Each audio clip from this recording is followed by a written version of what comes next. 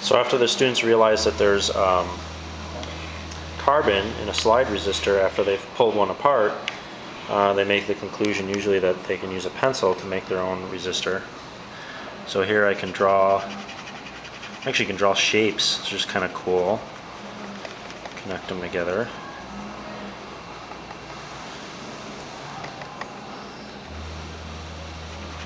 And then you can actually connect that to the circuit.